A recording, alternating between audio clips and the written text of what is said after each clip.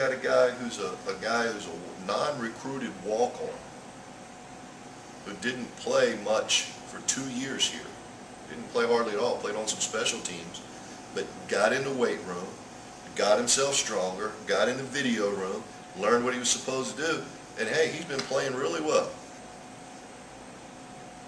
And, you know, Jordan, Jordan's been here now a year, and, you know, sometimes it's up to the young man to, to do those extra things to figure out what's going on. Um, so the, the ball's in his court. What about Cheney? How, how's his progress? Cheney's, uh, he's, he's somewhere in between, in between Latron and Jordan.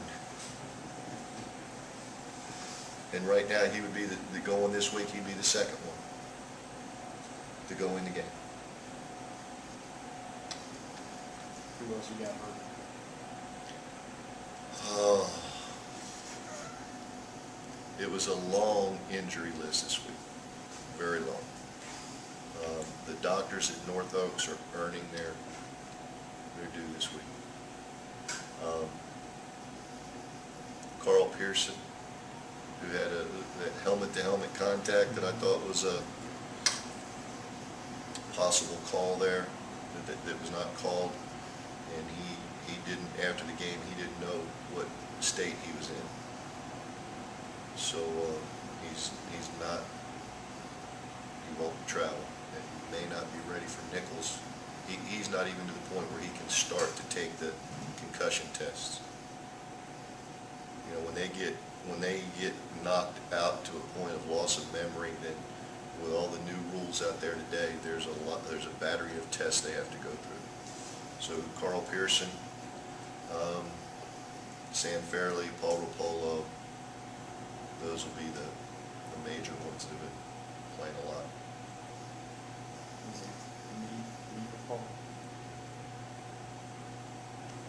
Is uh, they did an MRI, there was no meniscus damage, but he's got a second degree MCL sprain. What did you see on the film from your defensive line? I'm curious about what Devin Walker and Jonathan Kitchen. did. Jonathan Kitchen played great, played his best game. Uh, Right now, he's our best defensive line. Played very physical, was at the proper point of attack all the time. Uh, Probably next on that list this past week was uh, Gerard Black, the Iowa State transfer, played very physical inside, did a great job maintaining his gap. Played very physical. Uh, Next, I would say Devin Walker. You know, Devin did a good job, played hard. You know, your, your defensive ends in, in, in that option game have to be exact on their option responsibilities. Devin played well, Justin Church played well. You know, we wish we could have got Frank Bryant more snaps because he's much more physical at the point of attack than Justin is. But we just, sometimes, you know, Frank, when there's a, a- specific um, responsibility in the option, Frank won't always do, do right. And um, the last touchdown that they hit when Richard Sincere was at the Wildcat quarterback and they hit that option and popped it, and he went, I think, 36 for a touchdown, and that's a defensive end responsibility. And very simple, down block, squeeze, tackle the quarterback. And we got down block, and he went up the field and tackled the sweep. And there goes the quarterback, pew. Because, you know, you, if you know enough about that, when they, run the key play, they're reading the defensive end. If the defensive end squeezes, they're going to hand it to the running back. We ran the safety and the linebacker to the running back and tackled him for a loss about four times. But the defensive end has to squeeze so the quarterback can read him and give it to the right guy that we're going to go put two on and tackle. So we ended up with the defensive end up the field. We end up three on the running back and nobody on the quarterback. It, it's an assignment game when you play option people.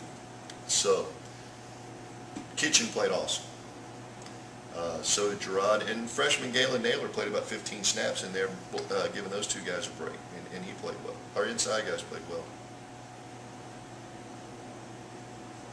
this week they don't play each other, but if Southeastern doesn't have the best three receivers in the league, then you'd say that Stephen F. does. But uh, Are they as good as yours? Uh, who, you know, who's, anybody got an edge there? What, how, how do you see that shaking? I know it doesn't really come into play other than winning and all that. I would say that their two top ones are pretty stinking good. They can, uh, they're playmakers. I, would, I would say that, uh, our three would probably be, their two, Crawford and uh, Roberson, those guys can really go. They're physical, they'll go up and fight for the ball, and they're really good at running with the football after they catch it. Uh, You know, Crawford is, I think, leading the conference in punt returns. He's like fourth or fifth in the nation in punt returns. He's had a, had a couple of kickoff returns for touchdowns already this year, so he's their return guy. Uh, They're, they're very, very talented, those two guys. What's the concern there with some of the problems you guys have had in the back end this year? Uh, We've played well at the corner position. We haven't played great at safety. Uh, Tyler Stoddard, the true freshman, I think had 13 tackles last week. In the run game and physical stuff, he's doing really well. In pass coverage, not so. Uh, If they could get, the way they align, you know, we can get one of our corners on Roberson. Uh, But the way they align, they'll get Crawford on a safety. So we, we gotta do some things to, uh, not allow him, you know, when we did their formation breakdowns, you know, they're two by two with the back to the field, or two by two with the back to the boundary, who are they throwing the ball to? Well, they've got one formation where Crawford has twenty-one catches, and the most anybody else has is three. You know, when we get that formation, we can't leave our safeties one-on-one out there with Crawford, you know, we gotta get him some help. But then there's other formations where he doesn't get the ball. So we have to be smart enough defensively, because, you know, we're, we're not good enough right now to say, yeah, yeah, yeah, yeah, all four of you guys are good enough to cover that guy. You know, we have to do some things scheme-wise to take away some things by formation. So that means they're going very, very fast. And when they get lined up, we gotta see, okay, where's the back? Is it two by two or three by one? Is the back to the three, the three or away from the three? Is he to the field or away from the field? If it's two by two, then let's get the coverage set. And we gotta make those things happen very, very quickly. With the time change and less practice, you know, we'll be off the field about five, ten today, and let's go out there and we'll pull all our head, headlights up along through the fence and shine them through the fence and see if we can keep on going. But, uh, so we're cutting practice down by about thirty minutes and against a team where we got a lot of stuff going on in the back end. Are you using Kieran Jones nickel or free? Kieran's played free for the last three weeks. That's what I thought, yeah. And, and, uh, I think he had eleven tackles this week.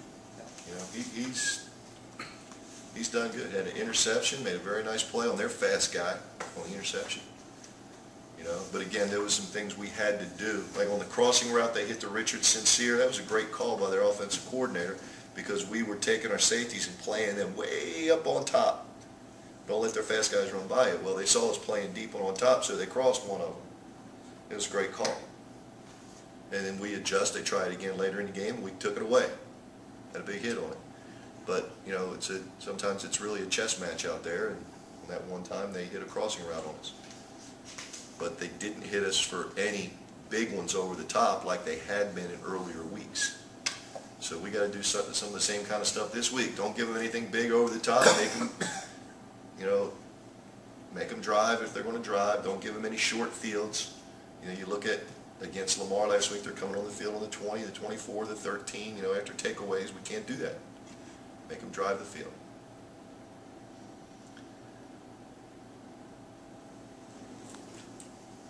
Thanks, guys.